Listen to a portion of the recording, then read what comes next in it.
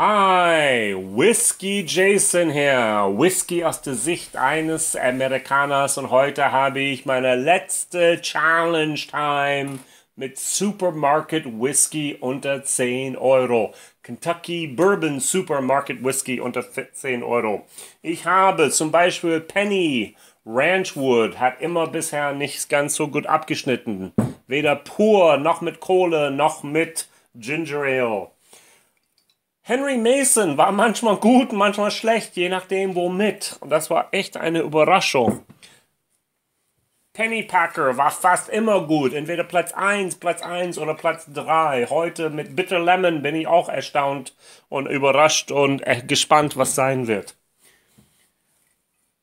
Kentucky Highway, manchmal gut, manchmal schlecht. Auch das hängt davon ab, ob man es pur trinkt oder mit Kohle oder mit Ginger Ale oder mit Bitter Lemon wie heute. Ich habe ein Sample vom Aldi Clarks Bourbon Sour Mash. Bisher war das immer schlecht, bis auf einmal, wo es tatsächlich Platz 3 erreicht hat. Und ich habe auch Western Gold Bourbon, was immer Platz 2 belegt hatte bei Pur und mit Kohle. Allerdings mit Ginger Ale war das nicht so gut. Heute haben wir Schweppes Original Bitter Lemon. Ich habe noch nie Whisky mit Bitter Lemon gehabt. Was ich nehme ist immer 8 CL Bitter Lemon und 2 CL Bourbon. So, Whisky Jason hier, Whisky aus der Sicht eines Amerikaners. Ich habe keine Ahnung, was sich hinter diese Zahlen oder diesen Buchstaben be ähm, bewegen oder bergen. Denn hinter diese Etiketten ist noch eine Etikett und darauf steht eine Nummer und anhand von dieser Nummer kann ich auf meine Liste schauen, was denn was ist. Was ich tun werde, ist, ich werde einfach mal erstmal riechen, was mir halbwegs gut schmeckt oder gut riecht. Ich habe noch nie, und das bekenne ich zu meiner Schande, auch wie zu meiner Unwissenheit, Bourbon mit Bitter Lemon gehabt. Das ist hier eine Primäre direkt vor der Kamera. Ich hätte nie auf die Idee, wäre ich nie auf die Idee gekommen, ohne dann da tatsächlich auf eine von diesen Flaschen von einem Supermarkt-Whisky diese Idee, du kannst den auch mixen mit Kohle oder auch mit Bitter Lemon. Und deshalb tue ich das hier. Und ähm, normalerweise teste ich Bourbons, Canadian Rye, Canadian Whisky und auch Irish Whisky. Und da habe ich einfach 350 plus Videos schon gedreht und ich möchte einfach mal eine Art, wer meine Videos noch nicht kennt, eine Art Wikipedia, Wikipedia für Whisky herstellen. Das heißt, du kannst einfach eintippen und sofort kriegst du ein Video, egal was es ist. Ich fange mit American Whisky an, also Bourbon, Rye, Blends, alles was es da so gibt. Single Malt, ob es vom Westland oder sonst was ist. Ich gehe weiter Richtung Kanada, da habe ich noch ungefähr 20, 30 Videos vor mir. Ich gehe Richtung Ireland, da habe ich noch ungefähr 100 Whiskys, die ich noch probieren werde. Gehe Richtung Japan, da habe ich auch um die 100. Ich gehe nach Schweden, da habe ich nochmal 80. Ich gehe dann nach Europa, das ist Italien, das ist Schweiz, das ist Österreich, das ist weiß was ich wo.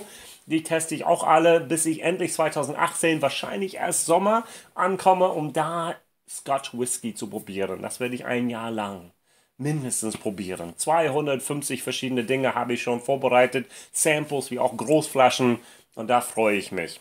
So, ich möchte einfach mal jetzt hier riechen, wie Bourbon mit Kentucky Bourbon 40% sich einfach mal verhält mit Bitter Lemon. Neu für mich.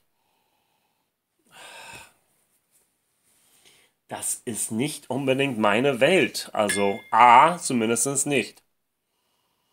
B riecht besser, aber irgendwie ist das diese Süße des Bourbons mit dem Bitteren des Bitter Lemons, die kriegen sich.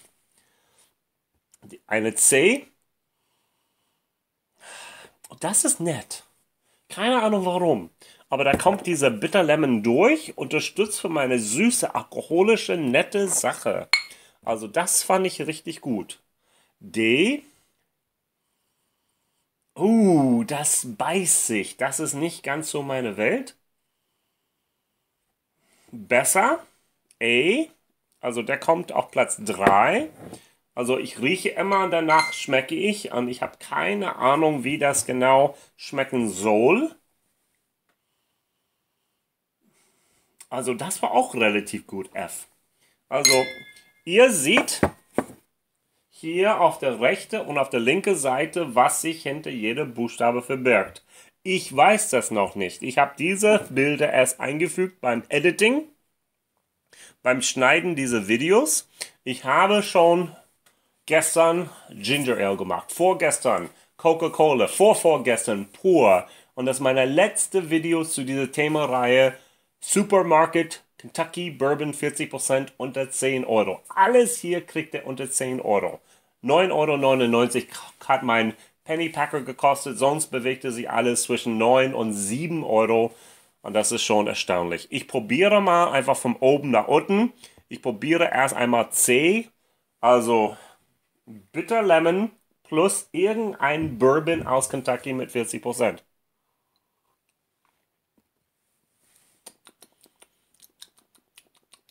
Nicht meins. Wow, da kämpft sich diese Süße mit dem Bitteren absolut nicht meins.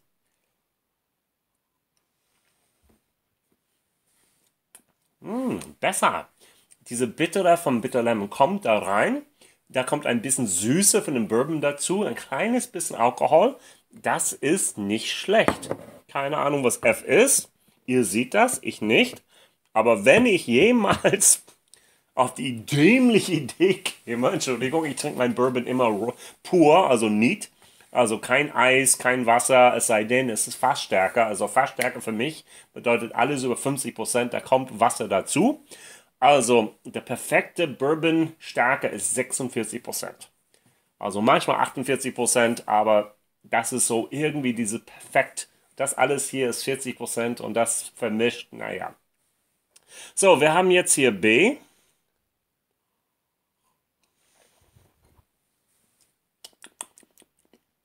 B schmeckt eindeutig besser als C.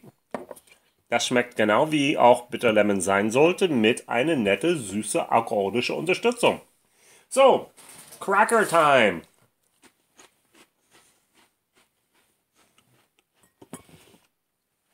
Wer schon meine Videos schon, schon vorher gesehen hat, man muss irgendwie seinen Geschmacksnerven neutralisieren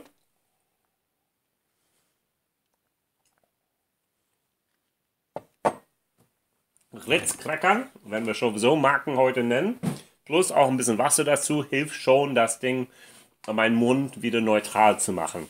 Ich merke dennoch, dass diese Bitterstoffe von den Bitter Lemon weiter in meinem Mund bleibt und dieser Alkohol einfach verschwindet da drin. So, ey.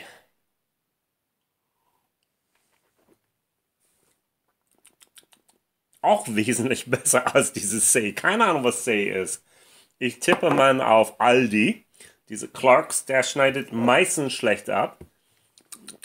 Mm. Ich, so, ich würde sagen sogar, der ist ein bisschen besser als B. Aber bin ich noch nicht sicher. Da muss ich die gegeneinander mal dieses kämpfen lassen. Also A.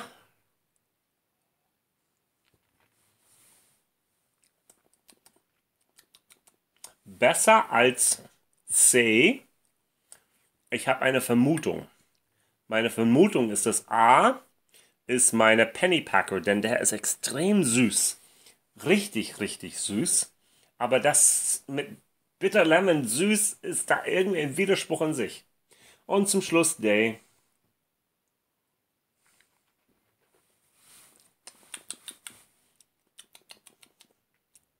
Besser als C, aber nicht ganz so nach oben.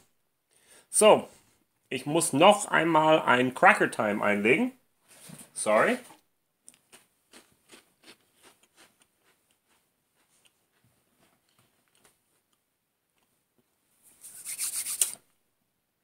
Bisher hatte ich fast immer eine große Spalte, eine große Abstand zwischen den untersten drei und die obersten drei. Das kann ich heute nicht sagen. Ich kann sagen, dass die drei halbwegs gut schmecken halbwegs. Das ist irgendwie nicht. Die beiden waren richtig, richtig gut. Und da bin ich echt gespannt. Ein Moment. Meine Lösungen sind hier unten, würde ich noch nicht anschauen, die habe ich sowieso auf dem Kopf. Und da bin ich wirklich hier zu sehen, was das ist. Also, ich fange unten an. C hat mir nicht geschmeckt.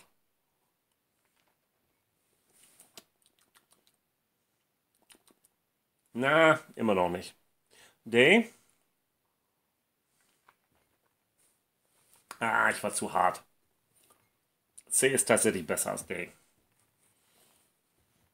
A.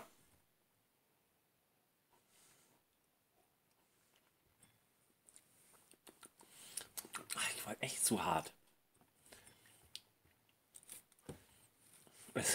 Er darf nicht die ganze Zeit nach oben wandeln. Irgendwas war da am Anfang, was mich gestört hat. B.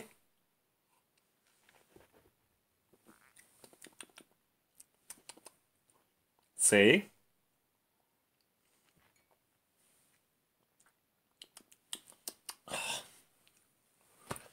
Ah. Ich muss echt aufpassen hier. Irgendwo, ich habe gesagt, ich glaube, das war das Saver, mein Pennypacker. Und das war das Problem mit dem Süße, mit dem ähm, Bitter Lemon. Aber jetzt, in diesem Moment, ergänzen sie sich. Vielleicht hängt das mit dem Salz von meinem Ritz Cracker zusammen, vielleicht hängt es mit dem Wasser zusammen. Ich weiß es nicht. A.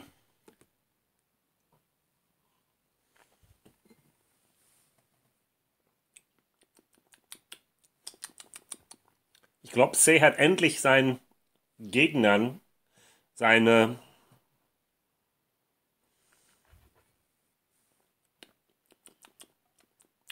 Ja, also C schmeckt A, A schmeckt tatsächlich besser als C. Meine Etiketten fallen ab, sorry. Also F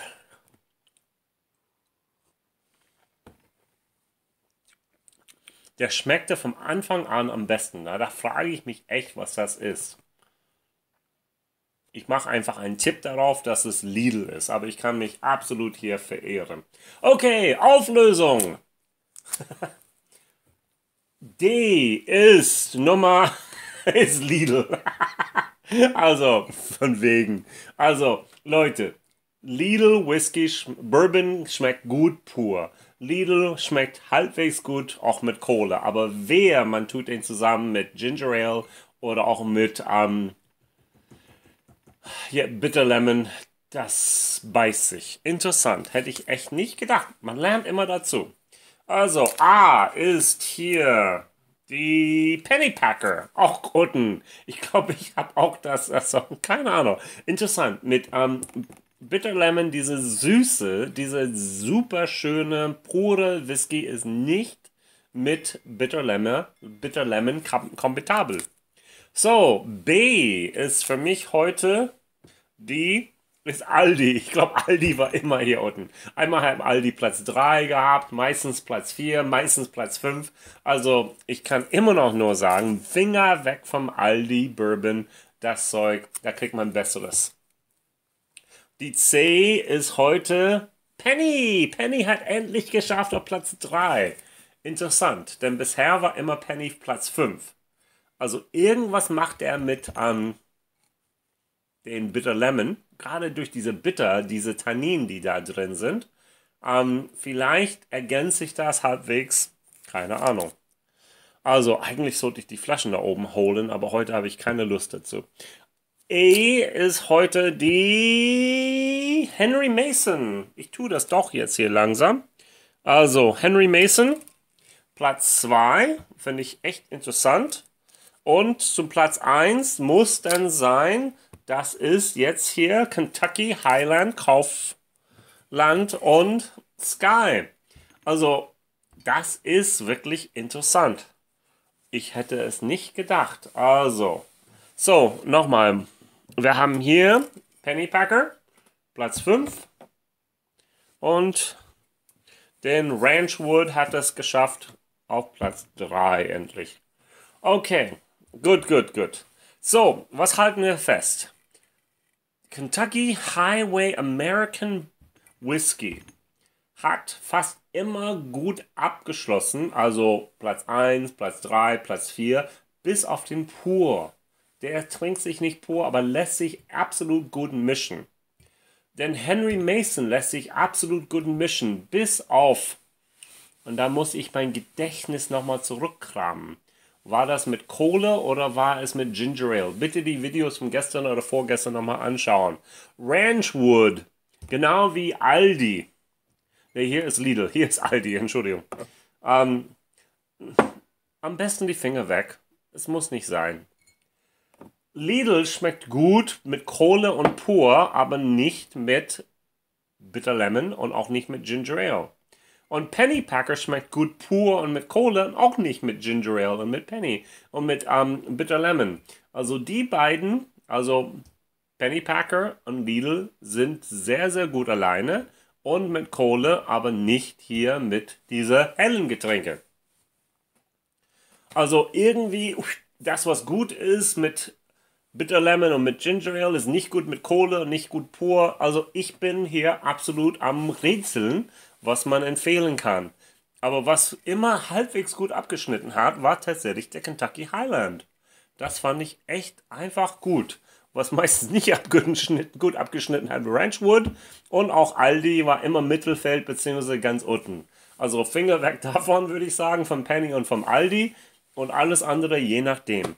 So, Whisky Jason hier, Whisky aus der Sicht eines Amerikaners. Heute fühle ich mich ein kleines bisschen verwirrt, denn ich habe noch nie, noch nie hier Bitter Lemon, Bitter Lemon mit Whisky getrunken. Das war ein Primäre und auch die Ergebnisse davon fand ich überraschend verwirrend. So, liken, abonnieren, weitererzählen, unten schauen, da gibt es eine Sample-Liste. Und eine letzte Sache, was ich die letzten vier Tage nicht erwähnt habe, ist, es gibt die Möglichkeit, hier einen Amazon-Link unten anzuklicken. Stell mal vor, du möchtest in der nächsten Woche irgendetwas bei Amazon kaufen.